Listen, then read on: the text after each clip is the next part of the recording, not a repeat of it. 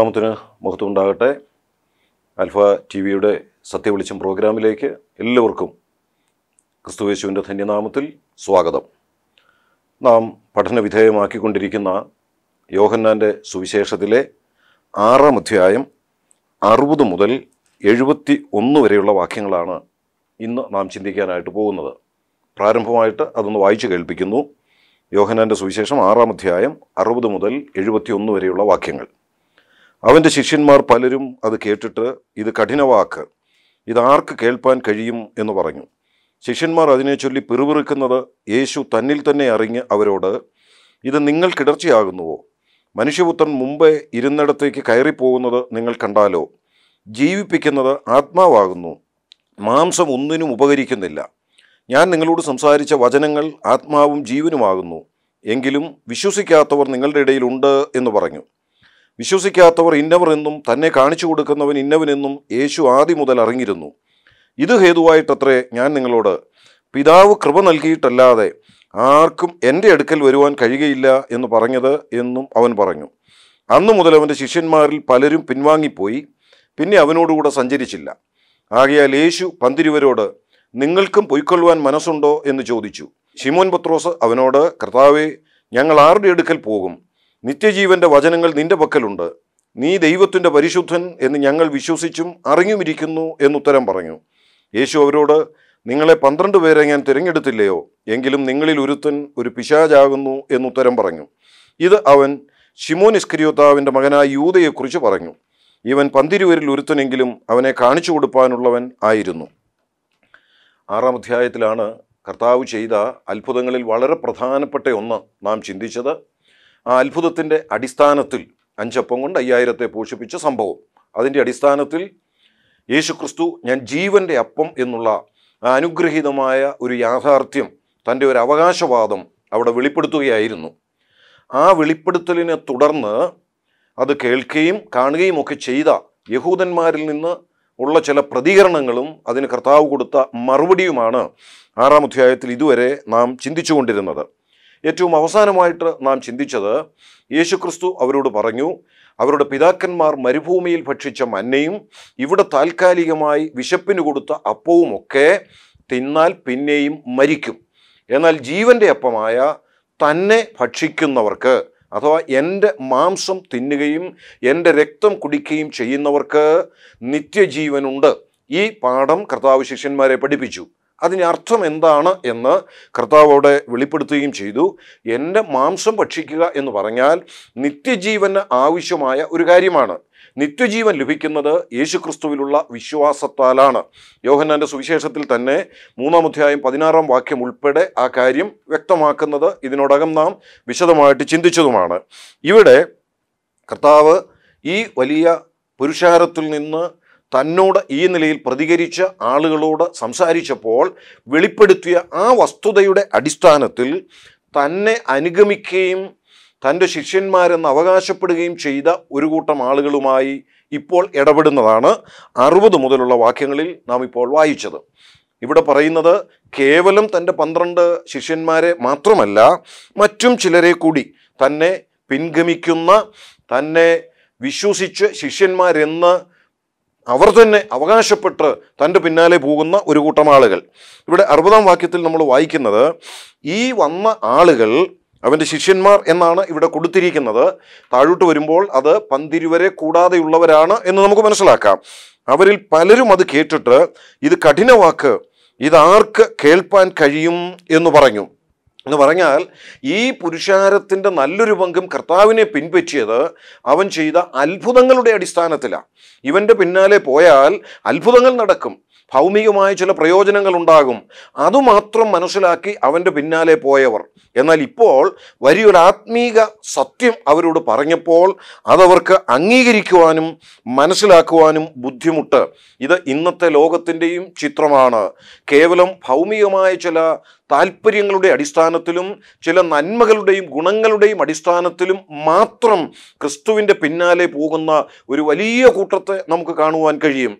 ആത്മീകമായ സത്യങ്ങൾ അത് പറയുമ്പോൾ അവർക്ക് അംഗീകരിക്കാൻ കഴിയുന്നില്ല. അവർക്കത് മനസ്സിലാക്കുവാൻ കഴിയുന്നില്ല. കേവലം അവർ ഭൗമികമായ നേട്ടങ്ങളുടെ പിന്നാലെ പോകുമ്പോൾ യേശുക്രിസ്തുവിലെ വിശ്വാസത്താൽ സൗജന്യമായി കൃപയാൽ രക്ഷയുണ്ടെന്ന് പറഞ്ഞാൽ അതെങ്ങനെ? ഇത് കഠിനവാക്ക്. ഒന്നും മുടക്കാതെ ഒന്നും ചെയ്യാതെയും എങ്ങനെ സ്വർഗം പ്രാപിപ്പാൻ കഴിയും? എങ്ങനെ ഈ വലിയ രക്ഷ അത് കൈവശപ്പെടുത്താൻ കഴിയും? ഇത് കഠിനവാക്ക് എന്ന് പറഞ്ഞ് അവർക്കത് അംഗീകരിപ്പാൻ കഴിയാതെ പോകുന്ന ഒരു സ്ഥിതി ഇന്നത്തെ ലോകത്തിലും നമുക്ക് കാണുവാനായിട്ട് കഴിയും. ഇത് ഇവരുടെ മനസ്സിലൂടെ പോയ ചിന്തയാണ്. അവർ അതേ ചൊല്ലി പിറുപിറുത്തു.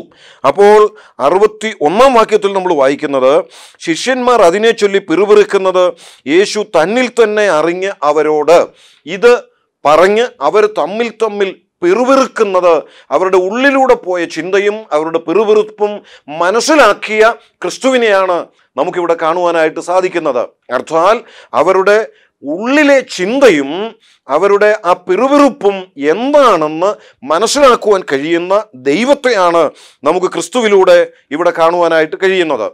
നമ്മൾ ഇന്ന് വായിച്ച ഈ വേദഭാഗത്തിന്റെ അറുപതാമത്തെ വാക്യത്തിൽ ഈ ശിഷ്യന്മാർ കർത്താവിനെതിരെ പിറുപിറുത്തതും അറുപത്തി ഒന്ന് മുതൽ അറുപത്തി അഞ്ച് വരെയുള്ള വാക്യങ്ങളിൽ ആ പിറുപിറുപ്പിന് കർത്താവ് കൊടുക്കുന്ന മറുപടി ആ മറുപടിയിലൂടെ അവരെ ശാസിക്കുന്നതുമാണ് നാം കാണുന്നത്. പിന്നീട് അറുപത്തി ആറാം വാക്യത്തിലേക്ക് വരുമ്പോൾ അതിൽ നല്ലൊരു പങ്കാളുകളും പിൻവാങ്ങിപ്പോകുന്ന ഒരു രംഗം നാം കാണുന്നു. അറുപത്തി ഏഴാമത്തെ വാക്യത്തിലേക്ക് വരുമ്പോൾ ഈ ആളുകൾ പിൻവാങ്ങിപ്പോയപ്പോൾ പന്തിരുവരായവരോട് നിങ്ങൾക്കും വേണമെങ്കിൽ പോകാം എന്ന് പറഞ്ഞ് കർത്താവ് ശിഷ്യന്മാരോട് ഇടപെടുന്നത് നാം കാണുന്നു. അറുപത്തിയെട്ടും അറുപത്തിയൊൻപതും വാക്യങ്ങളിലേക്ക് വരുമ്പോൾ കർത്താവ് പറഞ്ഞ വാക്കുകൾക്ക് പത്രോസ് കൊടുക്കുന്ന മറുപടിയും പത്രോസിന്റെ ഒരു ഏറ്റുപറച്ചിലും നമുക്കവിടെ കാണുവാൻ കഴിയും. എഴുപതും എഴുപത്തിയൊന്നും വാക്യങ്ങളിലേക്ക് വരുമ്പോൾ കർത്താവ് ഈ ശിഷ്യന്മാരിൽ ഒരുവൻ തന്നെ കാണിച്ചു കൊടുക്കാൻ പോകുന്നു എന്നുള്ളത് മനസ്സിലാക്കി അത് വെളിപ്പെടുത്തി കൊടുക്കുകയാണ്. യൂദാസിനെ ഒരളവിൽ വെളിപ്പെടുത്തി കൊടുക്കുന്ന ആ രംഗം കൂടിയാണ് നാം കാണുന്നത്. ഇങ്ങനെ ഇത്രയും കാര്യങ്ങളാണ് ഇന്ന് നാം വായിച്ച ഈ വേദഭാഗത്ത്. നമുക്ക് കാണാനായിട്ട് കഴിയുന്നത്. അപ്പോൾ ഇവിടെ നമ്മൾ ഇപ്പോൾ കണ്ട അറുപത്തി ഒന്നാം വാക്യത്തിൽ കർത്താവ് അവരുടെ പിറുപിറുപ്പ് മനസ്സിലാക്കി അവരോട് ഇടപെടുന്നതാണ്. പിന്നീട് താഴോട്ട് നാം അറുപത്തി അഞ്ച് വരെയുള്ള വാക്യങ്ങളിൽ കർത്താവ് അവരോട് ചോദിക്കുന്നുണ്ട് ഇത് നിങ്ങൾക്ക് ഇടർച്ചയാകുന്നുവോ എന്ന്? എന്ന് പറഞ്ഞാൽ കർത്താവ് ഈ വലിയ യാഥാർത്ഥ്യം പറഞ്ഞപ്പോൾ അവർക്കത് ഉൾക്കൊള്ളുവാൻ കഴിയുന്നില്ല. അവർക്ക് അത് അംഗീകരിക്കാൻ കഴിയുന്നില്ല. കർത്താവ് അത് മനസ്സിലാക്കി ചോദിക്കുന്നു നിങ്ങൾക്കിത് ഇടർച്ചയാകുന്നുവോ? മനുഷ്യപുത്രൻ മുമ്പ് ഇരുന്നിടത്തേക്ക് കയറിപ്പോകുന്നത് നിങ്ങൾ കണ്ടാലോ? അപ്പോൾ അവിടെ കർത്താവ് തന്നെ തന്നെ ഒന്നുകൂടെ വെളിപ്പെടുത്തുകയാണ്. മനുഷ്യപുത്രൻ എന്ന് വിശേഷിപ്പിച്ചുകൊണ്ട് താൻ മുമ്പ് ഇരുന്നിടത്തേക്ക് കയറി പോകേണ്ടുന്നവനാണ് എന്ന് വെളിപ്പെടുത്തുകയാണ് ഇതിനു മുൻപ് നാൽപ്പത്തി ഒന്നാമത്തെ വാക്യത്തിൽ കർത്താവ് തന്നെ പറയുന്നുണ്ട് സ്വർഗത്തിൽ നിന്ന് ഇറങ്ങി വന്ന അപ്പം എന്ന് തന്നെക്കുറിച്ച് തന്നെ പറയുന്നുണ്ട്. താൻ സ്വർഗത്തിൽ നിന്ന് ഇറങ്ങി വന്നവനാണ് എന്നവിടെ പറഞ്ഞു. അൻപത്തി രണ്ടും അൻപത്തി അഞ്ചും വാക്യങ്ങളിലേക്ക് വരുമ്പോൾ പിന്നെ യേശുക്രിസ്തു അവകാശപ്പെടുന്ന മറ്റൊരു കാര്യം നമുക്ക് തന്റെ മാംസം തിന്നേണ്ടതിന് തരുവാൻ ഇവൻ എങ്ങനെ കഴിയും? എന്ന് പറഞ്ഞു. എന്റെ മാംസം സാക്ഷാൽ ഭക്ഷണവും എന്റെ രക്തം സാക്ഷാൽ പാനീയവുമാകുന്നു. അപ്പോൾ അവർക്ക് തിന്നുവാൻ കൊടുക്കുവാൻ തന്റെ മാംസമുണ്ട്. അത് തന്റെ മരണത്തെ സൂചിപ്പിക്കുന്നു. അപ്പോൾ ഒന്ന് യേശുക്രിസ്തു തന്റെ മനുഷ്യാവതാരത്തെ സ്വർഗത്തിൽ നിന്ന് ഇറങ്ങി വന്നവൻ എന്നത് വെളിപ്പെടുത്തുന്നു. രണ്ട് തന്റെ മരണത്തെ അവിടെ വെളിപ്പെടുത്തുന്നു. ഇവിടെ ഇപ്പോൾ നമ്മൾ വായിച്ച ഈ വാക്യത്തിൽ ക്രിസ്തു അല്പം കൂടെ കടന്ന് താൻ തിരികെ സ്വർഗത്തിലേക്ക് പോകുന്നവനാണ് എന്ന് വെളിപ്പെടുത്തുന്നു. അതിലൂടെ എന്താണ് താൻ തന്നെ തന്നെ അവരുടെ മുൻപാകെ വെളിപ്പെടുത്തി കൊടുക്കുന്നത്? താൻ മരണത്തെ ജയിച്ച് ഉയർത്തെഴുന്നേറ്റവനാണ് ഇനിയും സ്വർഗത്തിലേക്ക് പോകുന്നവനാണ്. അപ്പോൾ ഈ അധ്യായത്തിൽ തന്നെ ക്രിസ്തു തന്റെ മനുഷ്യാവതാരത്തെക്കുറിച്ച് തന്റെ ക്രൂശു മരണത്തെക്കുറിച്ച് തന്റെ ഉയർത്തെഴുന്നേൽപ്പിനെക്കുറിച്ച് താൻ തന്നെ തന്റെ വാക്കുകളിലൂടെ വെളിപ്പെടുത്തുന്ന ചില പ്രയോഗങ്ങളാണ് നമുക്കിവിടെ കാണുവാനായിട്ട് സാധിച്ചത്. ഇവിടെ ഈ ശിഷ്യന്മാരോട് കർത്താവ് ഇത് പറയുന്നു. അടുത്ത് കർത്താവ് പിന്നെ ചെയ്യുന്നത് അറുപത്തി മൂന്നാം വാക്യം ജീവിപ്പിക്കുന്നത് ആത്മാവാകുന്നു മാംസം ഒന്നിനും ഉപകരിക്കുന്നില്ല. ഞാൻ നിങ്ങളോട് സംസാരിച്ച വചനങ്ങൾ ആത്മാവും ജീവനുമാകുന്നു എന്ന് പറയുന്നു. ദൈവവചനത്തിന്റെ ശക്തി കർത്താവ് അവിടെ വെളിപ്പെടുത്തുകയാണ്. നമുക്കറിയാം ദൈവവചനത്താലാണ് ഒരു വ്യക്തി വീണ്ടും ജനിക്കുന്നത്. വീണ്ടും ജനനത്തിന് ദൈവവചനമാണ് ആധാരമായിരിക്കുന്നത് എന്ന് യോഹന്നാന്റെ സുവിശേഷം മൂന്നാം അധ്യായത്തിൽ നിക്കോദിമോസുമായിട്ടുള്ള സംഭാഷണത്തിലൂടെ കർത്താവ് സൂചിപ്പിക്കുന്നുണ്ട്. അത് പിന്നീട് ഒന്ന് പത്രോസ് ഒന്നാം അധ്യായത്തിലും യാക്കോബിന്റെ ലേഖനത്തിലുമൊക്കെയായി വീണ്ടും ജനനത്തിന് ആധാരം ദൈവത്തിന്റെ വചനമാണ്. വചനം കൂടാതെ ജീവിപ്പാൻ കഴിയുന്നില്ല എന്നുള്ളത് അവിടെ വെളിപ്പെടുത്തുന്നുണ്ട്. അതുതന്നെയാണ് ഇവിടെ പറയുന്നത്. ഞാൻ നിങ്ങളോട് സംസാരിച്ച വചനങ്ങൾ ആത്മാവും ജീവനുമാകുന്നു. അത് പറഞ്ഞിട്ട് കർത്താവ് വീണ്ടും പറയുന്നു എങ്കിലും വിശ്വസിക്കാത്തവർ നിങ്ങളുടെ ഇടയിലുണ്ട്. വിശ്വസിക്കാത്തവർ ഇന്നവരെന്നും തന്നെ കാണിച്ചു കൊടുക്കുന്നവൻ ഇന്നവനെന്നും യേശു ആദ്യം മുതൽ അറിഞ്ഞിരുന്നു. മുൻപോട്ട് നടക്കാൻ പോകുന്ന കാര്യവും ഈ പന്ത്രണ്ട് ശിഷ്യന്മാരിൽ ഒരുവൻ തന്നെ കാണിച്ചു കൊടുക്കാൻ പോകുന്നു എന്നുള്ളതും മുൻകൂട്ടി അറിഞ്ഞു എന്ന് കർത്താവ് ഇവിടെ തന്നെ വെളിപ്പെടുത്തുകയാണ്. അപ്പോൾ ആ നിലയിൽ അടുത്ത അറുപത്തിയഞ്ചാം വാക്യത്തിൽ പറയുന്നത് പിതാവ് കൃപ നൽകിയിട്ടല്ലാതെ ആർക്കും എന്റെ അടുക്കൽ വരുവാൻ കഴിയുകയില്ല. അത് പറഞ്ഞ പശ്ചാത്തലം കൂടി ഒന്ന് ശ്രദ്ധിക്കുക. ഈ ശിഷ്യന്മാർ അവനെതിരെ പിറുപിറുത്തു ഞാൻ ഒന്നുകൂടെ ഓർപ്പിക്കട്ടെ പന്ത്രണ്ട് ശിഷ്യന്മാർ മാത്രമല്ല മറ്റ് പുരുഷാരത്തിൽ നിന്ന് വന്ന തന്നെ അനുഗമിച്ചു വന്ന ആളുകളിൽ നല്ലൊരു പങ്ക് തനിക്കെതിരെ പിറുപിറുക്കുന്നു.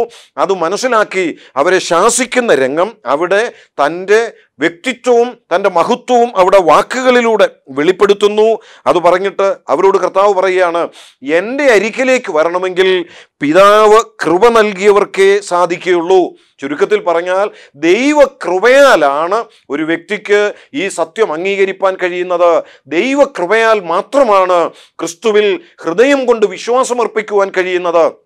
പിതാവിനാൽ ആകർഷിക്കപ്പെടുക പിതാവിൽ നിന്ന് കൃപ ലഭിക്കുക എന്നൊക്കെ പറയുന്നത് ആ ദൈവകൃപയുടെ ഫലമായിട്ട് മാത്രമാണ് ഈ വിശ്വാസം ഹൃദയത്തിൽ ഉണ്ടാകുന്നത്. അത് കർത്താവ് ഇവിടെ വളരെ വ്യക്തമായി വെളിപ്പെടുത്തുകയാണ്. ഈ വാക്കുകളെ കേട്ട് കഴിഞ്ഞപ്പോൾ അറുപത്തിയാറാം വാക്യത്തിൽ പറയുന്നു അങ്ങനെ തന്നെ അനുഗമിച്ച അനേകര് പിൻവാങ്ങിപ്പോയി. അറുപത്തിയാറാം വാക്യം ശ്രദ്ധിക്കുക അന്ന് മുതൽ അവന്റെ ശിഷ്യന്മാരിൽ പലരും പിൻവാങ്ങിപ്പോയി. പിന്നെ അവനോടുകൂടെ സഞ്ചരിച്ചില്ല. എന്താ കാരണം? ഇവരൊക്കെ കേവലം അഞ്ചപ്പം കൊണ്ട് അയ്യായിരത്തെ പോഷിപ്പിക്കുന്നത് കണ്ടപ്പോൾ അതിനു മുൻപ് നടന്ന പല അത്ഭുതങ്ങളും കണ്ടതിന്റെ അടിസ്ഥാനത്തിൽ കേവലം ഭൗമികമായ ചില നന്മകൾ മാത്രം ലക്ഷ്യമിട്ട് തന്റെ പിന്നാലെ വന്നവരാ. എന്നാൽ ഇപ്പോൾ കർത്താവ് ആത്മീയമായി അവർ അറിയേണ്ട പാഠം പഠിപ്പിച്ചു. ഞാനാണ് ജീവന്റെ അപ്പം. നിങ്ങൾ ദൈവകൃപയാൽ പിതാവിനാൽ ആകർഷിക്കപ്പെട്ടവരായിരിക്കണം. എന്റെ അരിക്കൽ വന്ന് എന്നിൽ വിശ്വസിക്കണം. അവർക്കാണ് നിത്യജീവനുള്ളത് എന്ന് പറഞ്ഞപ്പോൾ ഇത് കഠിനവാക്ക് എന്ന് പറഞ്ഞ് അവർ പ്രതികരിച്ചു. അതിനും കർത്താവ് മറുപടി കൊടുത്തപ്പോൾ ആ നല്ലൊരു പങ്കാളുകളും കർത്താവിനെ വിട്ട് പിൻവാങ്ങിപ്പോകുന്നു ഇത് അന്ന് സംഭവിച്ചു എന്നുള്ളത് ശരിയാണ്. ഇന്നത്തെ ലോകത്തിന്റെ വ്യക്തമായ ഒരു ചിത്രം കൂടിയല്ലയോ നമുക്കിവിടെ നിന്ന് ലഭിക്കുന്നത്. ആത്മീയമായ സത്യങ്ങൾ പറയുമ്പോൾ അതിനോട് പ്രതികൂലമായി പ്രതികരിക്കുന്നവർ. എന്നാൽ ഭൗമികമായ നേട്ടങ്ങൾ കാണുമ്പോൾ അത് അംഗീകരിക്കാനും വേണമെന്നുള്ള ചിന്തയിൽ അതിന്റെ പിന്നാലെ പോകുന്നവരുമായ ആളുകൾ ക്രിസ്തീയ വിശ്വാസത്തെ പോലും കേവലം ഭൗമികമായ നന്മയ്ക്ക് വേണ്ടി ഉപയോഗിക്കുന്നവർ അവരെയാണ് നല്ലൊരു പങ്കും ലോകത്തിൽ നമുക്ക് കാണുവാൻ കഴിയുന്നത്.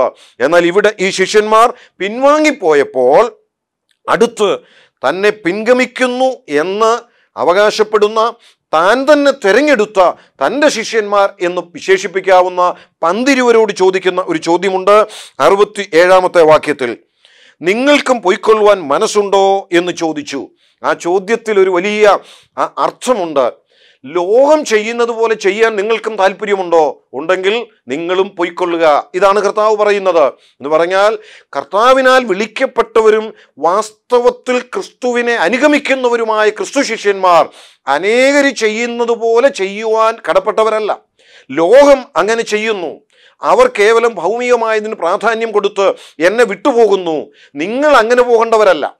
നിങ്ങളും ആ ഒഴുക്കിനനുസരിച്ച് നീന്തുവാനാണോ താല്പര്യപ്പെടുന്നത് എന്നുള്ളത് അറിയുവാനുള്ള കർത്താവിന്റെ ഒരു ആഗ്രഹം കൂടിയായിരുന്നു കർത്താവ് ആ ചോദ്യത്തിലൂടെ ഉദ്ദേശിച്ചത്.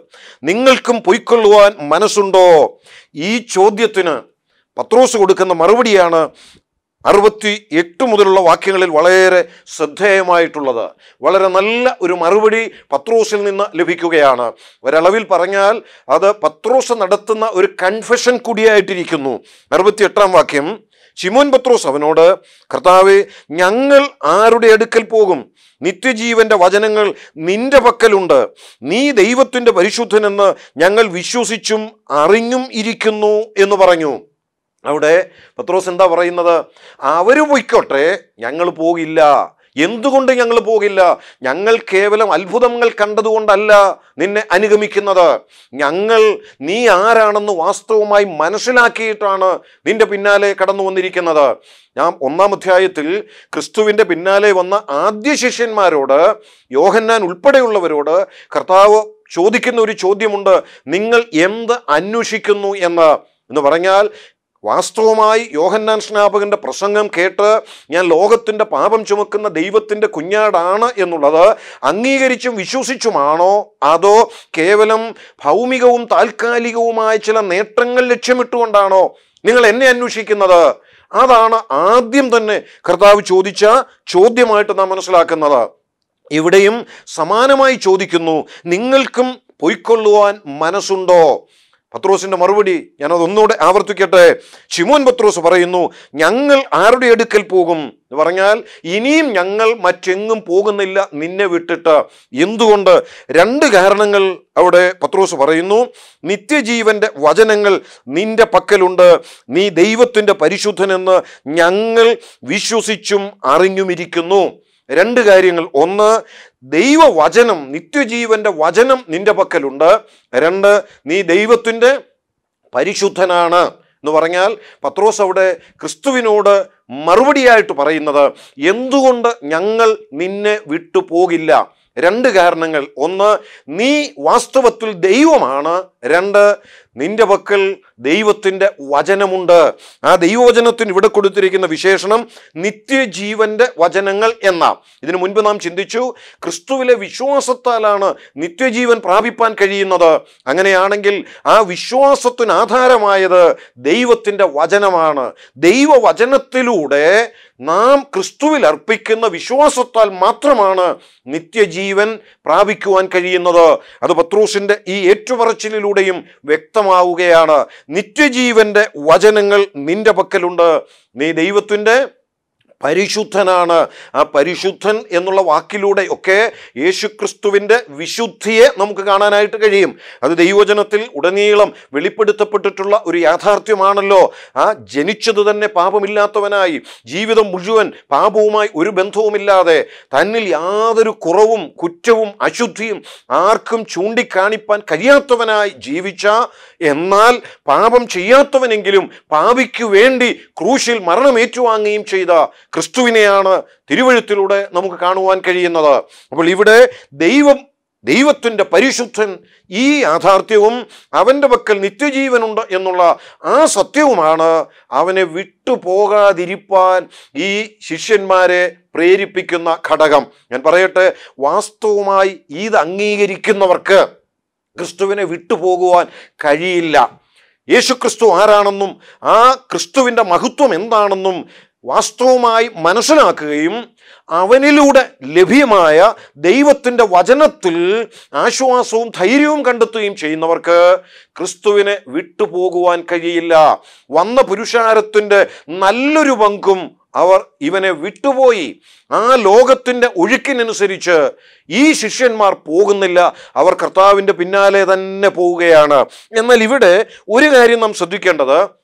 നീ ദൈവപുത്രനാണ് അഥവാ ദൈവത്തിന്റെ പരിശുദ്ധനാണ് നിന്റെ പക്കൽ നിത്യജീവന്റെ വചനമുണ്ട് അതുകൊണ്ട് ഞങ്ങൾ പോകില്ല എന്ന് പറയുമ്പോൾ പത്രോസ് ആ പന്ത്രണ്ട് ശിഷ്യന്മാരെയും ഉൾപ്പെടുത്തിക്കൊണ്ടാണ് പറയുന്നത്. ഞങ്ങൾ എന്ന വാക്കാണ് അവിടെ ഉപയോഗിക്കുന്നത്. അത് കേട്ടിട്ട് കർത്താവ് കൊടുക്കുന്ന ഒരു മറുപടി നാം എഴുപതാം വാക്യത്തിൽ വായിക്കുന്നുണ്ട്. നിങ്ങളെ പന്ത്രണ്ട് പേരെ ഞാൻ തിരഞ്ഞെടുത്തില്ലയോ? എങ്കിലും നിങ്ങളിൽ ഒരുത്തൻ ഒരു പിശാചാകുന്നു. പത്രോസിനത് മനസ്സിലാകുന്നില്ല. കൂടെയുള്ള പന്ത്രണ്ടിൽ ഒരുവൻ പിശാചാണെന്ന്. പന്ത്രണ്ടിൽ ഒരുവൻ ക്രിസ്തുവിനെ ഒറ്റിക്കൊടുക്കാൻ പോകുന്നവനാണെന്ന് പത്രോസിന് മനസ്സിലാകുന്നില്ല. ഞങ്ങൾ എന്ന് പറഞ്ഞ് ആ പന്ത്രണ്ട് പേരെയും പ്രതിനിധീകരിച്ചുകൊണ്ടാണ് പത്രോസ് അവിടെ മറുപടി പറയുന്നത്. അത് മാത്രമല്ല പത്രോസ് പറയുമ്പോൾ ഞങ്ങൾ അത് വിശ്വസിച്ചും അറിഞ്ഞുമിരിക്കുന്നു. ആ അറിഞ്ഞുമിരിക്കുന്നു എന്നുള്ളത് ഞങ്ങൾക്ക് ആ കാര്യത്തിൽ ഉറപ്പുണ്ട് എന്നാണ് പത്രോസ് പറയുന്നത്. ഇംഗ്ലീഷിലൊക്കെ ഷുവർ എന്ന വാക്ക് തന്നെ ഉപയോഗിച്ചിട്ടുണ്ട്. അപ്പോൾ ഞങ്ങൾ വിശ്വസിക്കുന്ന കാര്യത്തിൽ ഞങ്ങൾക്ക് ഉറപ്പുമുണ്ട്. വിശ്വാസത്തിന്റെ നിർവചനം കൊടുക്കുന്ന എബ്രായ ലേഖനം പതിനൊന്നാം അധ്യായത്തിന്റെ ഒന്നാം വാക്യത്തിൽ ആ ആശയം നമുക്ക് കാണുവാൻ കഴിയും. വിശ്വാസം എന്നതോ ആശിക്കുന്നതിന്റെ ഉറപ്പും കാണാത്ത കാര്യങ്ങളുടെ നിശ്ചയവുമാകുന്നു. വിശ്വാസത്തിൽ ഉറപ്പുണ്ട്. വിശ്വസിക്കുന്ന കാര്യങ്ങളിൽ നിശ്ചയമുണ്ട്. അതാണ് ശരിയായ വിശ്വാസം. യേശുക്രിസ്തുവിൽ നാം അർപ്പിക്കുന്ന വിശ്വാസം ദൈവജനത്തിൽ നാം അർപ്പിക്കുന്ന വിശ്വാസം ആ വിശ്വാസത്തിന്റെ പ്രത്യേകതയാണ്. നാം ക്രിസ്തുവിൽ വിശ്വസിക്കുന്നുവെങ്കിൽ ക്രിസ്തുവിനെക്കുറിച്ച് നാം അറിഞ്ഞതും വിശ്വസിച്ചതുമായ കാര്യങ്ങൾ സത്യമാണ് ഉറപ്പാണ്. നമുക്കതിൽ സംശയമില്ല. ക്രിസ്തു വന്നു ജീവിച്ചു മരിച്ചു അടക്കപ്പെട്ടു ഉയർത്തെഴുന്നേറ്റു ഇനിയും വരും. ഉറപ്പാണ്. ക്രിസ്തുവിനെക്കുറിച്ചും ആത്മീയ കാര്യങ്ങളും പറഞ്ഞിട്ടുള്ള ദൈവത്തിന്റെ വചനത്തിൽ നാം വിശ്വാസമർപ്പിക്കുന്നുവെങ്കിൽ വചനം സത്യമാണ്. ഇതിൽ പറഞ്ഞിട്ടുള്ള കാര്യങ്ങൾ അതുപോലെ പ്രമാണിക്കേണ്ടതാണ്. അതിൽ ഒരു തെറ്റുമില്ല. ഉറപ്പാണ്. അതാണ് ശരിയായ വിശ്വാസം. അതാണ് പത്രോസിന്റെ വാക്കുകളിൽ പറയുന്നത്. ഞങ്ങൾ വിശ്വസിച്ചും ഉറച്ചുമിരിക്കുന്നു. പക്ഷെ ഞങ്ങൾ എന്നുള്ള ആ പദത്തിൽ പന്ത്രണ്ട് പേരെയും ഉൾപ്പെടുത്തുമ്പോൾ കർത്താവ് തിരിച്ചു പറയുകയാണ് നിങ്ങളെ തന്നെ നിങ്ങൾക്ക് ശരിക്കറിയത്തില്ല. നിങ്ങളിൽ ഒരുവൻ കൂടെ നടക്കുന്നവൻ അവനെ നിങ്ങൾക്ക് മനസ്സിലാകുന്നില്ല. ഇവിടെയും ക്രിസ്തു തന്റെ ആ വലിയ അറിവ് ദൈവത്തിന്റെ ജ്ഞാനം വെളിപ്പെടുത്തുകയാണ്. താൻ ആ കൂടെയുള്ളവരിൽ ഒരുവൻ എന്തു ചെയ്യാൻ പോകുന്നു എന്നും അവന്റെ ഉള്ളിൽ വ്യാപരിക്കുന്നത് ആരാണെന്നും മനസ്സിലാക്കി ആ കാര്യം ഇവിടെ വെളിപ്പെടുത്തുകയാണ്. അവിടെ ആ കാര്യം പറയുമ്പോൾ നിങ്ങളിൽ ഒരുത്തൻ ഒരു പിശാചാകുന്നു എന്ന് പറയുന്നു. ഇത് പതിമൂന്നാം അധ്യായത്തിലേക്ക് വരുമ്പോഴും വേറൊരു നിലയിൽ വെളിപ്പെടുത്തുന്നത് നാം വായിക്കുന്നുണ്ട്. കർത്താവ് തന്റെ ശിഷ്യന്മാരുടെ കാലുകളെ കഴുകി. ആ കാലുകളെ കഴുകിയപ്പോൾ പത്രോസ് പറയുന്ന ഒരു വാക്കുണ്ട്. കർത്താവ് എന്റെ കാൽ മാത്രമല്ല കൈയും തലയും കൂടെ കഴുകണമേ. ഇത് കേട്ടിട്ട് തിരിച്ചു കർത്താവ് പറയുന്നു കുളിച്ചിരിക്കുന്നവന് കാലല്ലാതെ കഴുകുവാൻ ആവശ്യമില്ല. അവൻ മുഴുവനും ശുദ്ധിയുള്ളവൻ. നിങ്ങൾ ശുദ്ധിയുള്ളവരാകുന്നു എല്ലാവരും അല്ലതാനും. നിങ്ങളിൽ ഒരുത്തൻ. നിങ്ങൾ ശുദ്ധിയുള്ളവരാ എല്ലാവരും അല്ലതാനും. ആ ഒരുത്തനെ കുറിച്ച് അതിന്റെ പതിനൊന്നാം വാക്യത്തിൽ തന്നെ കാണിച്ചു കൊടുക്കുന്നവനെ അറിഞ്ഞിരിക്ക കൊണ്ടത്രേ എല്ലാവരും ശുദ്ധിയുള്ളവരല്ല എന്ന് പറഞ്ഞത്. അപ്പോൾ അവിടെയും അവരിൽ ഒരുത്തൻ ചെയ്യാൻ പോകുന്നത് അറിഞ്ഞുകൊണ്ട് അത് വെളിപ്പെടുത്തുന്നതായി നമുക്ക് കാണാനായിട്ട് കഴിയും. ഇവിടെയും അതുതന്നെയാണ് നാം കാണുന്നത്. നിങ്ങളിൽ ഒരുത്തൻ എന്ന് പറഞ്ഞിട്ട് അടുത്ത് അവനെക്കുറിച്ച് ഉപയോഗിച്ചിരിക്കുന്ന വാക്കൊന്ന് ശ്രദ്ധിക്കുക. നിങ്ങളെ പന്ത്രണ്ട് പേരെ ഞാൻ തിരഞ്ഞെടുത്തില്ലയോ? എങ്കിലും നിങ്ങളിൽ ഒരുത്തൻ ഒരു പിശാചാകുന്നു എന്നുത്തരം പറഞ്ഞു. ഇത് അവൻ ഷിമോനിസ്കരിയാത്തോവിന്റെ മകനായ യൂതയെക്കുറിച്ച് പറഞ്ഞു. ഇവൻ പന്തിരുവരിൽ ഒരുത്തനെങ്കിലും അവനെ കാണിച്ചു കൊടുപ്പാനുള്ളവൻ ആയിരുന്നു. ഈ ശിഷ്യന്മാരോട് അവരിൽ ഒരുവൻ ചെയ്യുവാൻ പോകുന്നത് എന്താണെന്നുള്ളത് കർത്താവ് അവിടെ വെളിപ്പെടുത്തുകയാണ്. ക്രിസ്തു അവരിൽ ഉള്ളത് ഉള്ളതുപോലെ അറിയുന്നവൻ. ഇതിനു മുമ്പ് നാം കണ്ടു ആ പുരുഷാരത്തിൽ നിന്ന് തന്നെ പിൻപറ്റിയ ഒരു കൂട്ടം ആളുകൾ തനിക്കെതിരെ പിറുപിറുത്തപ്പോൾ അവരുടെ പിറുപിറുപ്പും അവരുടെ മനസ്സിലൂടെ കടന്നുപോയ ചിന്തകളും അറിഞ്ഞ് അവരോട് ഇടപെടുന്നു. ഇവിടെ ഇതാ ഈ പന്ത്രണ്ടിൽ ഒരുവൻ ചെയ്യുവാൻ പോകുന്ന കാര്യം മനസ്സിലാക്കിക്കൊണ്ട് അതവിടെ വെളിപ്പെടുത്തി കൊടുക്കുന്നു. അവിടെ ഉപയോഗിക്കുന്ന ആ പദം നാം ഒന്ന് പ്രത്യേകം ശ്രദ്ധിക്കേണ്ടതാണ്. നിങ്ങളിൽ ഒരുത്തൻ ഒരു പിശാചാകുന്നു എന്നാ പറഞ്ഞത്. അതുകൊണ്ട് എന്താ മനസ്സിലാക്കുന്നത്? ഈ യൂതയെ സംബന്ധിച്ചിടത്തോളം പിതാവിനാൽ ആകർഷിക്കപ്പെട്ടവനല്ല പിതാവിൽ നിന്ന് കൃപ ലഭിച്ചവനല്ല എന്നുള്ളത് കർത്താവ് അവിടെ വെളിപ്പെടുത്തുകയാണ്. ഇതിനു മുൻപ് നാം ഇന്ന് ചിന്തിച്ച വേദഭാഗത്ത് തന്നെ കർത്താവ് പറഞ്ഞ വാക്കുകളുണ്ട്.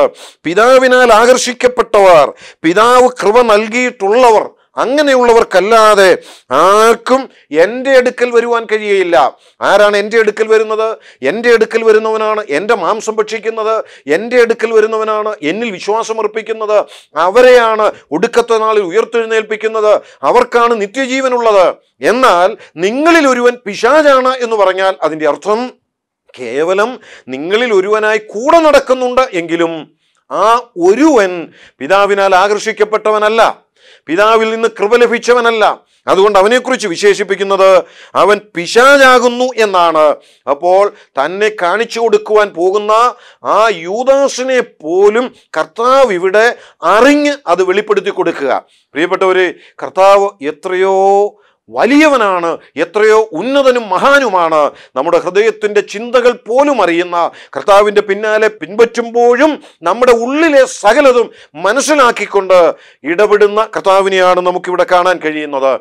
അതെ അനേകർ പിന്മാറിപ്പോയിട്ടും തന്നോടൊപ്പം വന്ന പന്തിരുവരോട് പോയിക്കൊള്ളുവാൻ മനസ്സുണ്ടോ എന്ന് ചോദിച്ചപ്പോൾ പത്രോസ് പറഞ്ഞ മറുപടി നമുക്കും നമ്മുടെ കർത്താവിനോട് പറയാം. ലോകം കർത്താവിനെ വിട്ടുപോകുമ്പോഴും അറിഞ്ഞ സത്യത്തിൽ മുറുകെ പിടിച്ചുകൊണ്ട് ക്രിസ്തു ആരാണെന്നും അവന്റെ പക്കൽ ദൈവവചനമുണ്ട് എന്നുള്ളതും അംഗീകരിച്ചും തുറന്നു സമ്മതിച്ചും കൊണ്ട് ആ ദൈവത്തിലും ദൈവവചനത്തിലും പൂർണ ആശ്രയം വെച്ചുകൊണ്ട് നമുക്ക് മുൻപോട്ട് പോകാം. ഈ പഠനത്തിലൂടെ അത് നമുക്ക് സാധിക്കട്ടെ. ആരെങ്കിലും ഈ ജീവന്റെ അപ്പത്തെ ഇന്നുവരെയും കർത്താവും രക്ഷിതാവുമായി വിശ്വാസത്താൽ ഹൃദയത്തിൽ അംഗീകരിക്കാത്തവരുണ്ടെങ്കിൽ ഈ മാംസം ഭക്ഷിക്കാത്തവരുണ്ടെങ്കിൽ യേശു ക്രിസ്തുവിൽ ഹൃദയം കൊണ്ട് വിശ്വാസമർപ്പിക്കുക ക്രിസ്തുവിനെ കർത്താവായി ഉള്ളിലേക്ക് സ്വീകരിക്കുക. നിങ്ങൾക്ക് നിത്യജീവനുണ്ട്. ദൈവവും ദൈവത്തിന്റെ വചനവും അത് നമ്മെ കർത്താവിനെ കൂടുതൽ അടുപ്പിക്കുന്നതാണ്. അതിൽ മുറുകെ പിടിച്ചുകൊണ്ട് നമുക്ക് മുൻപോട്ട് പോകാം. ദൈവ തിരുനാമം ഇന്നും എന്നേക്കും വാഴ്ത്തപ്പെടുമാറാകട്ടെ.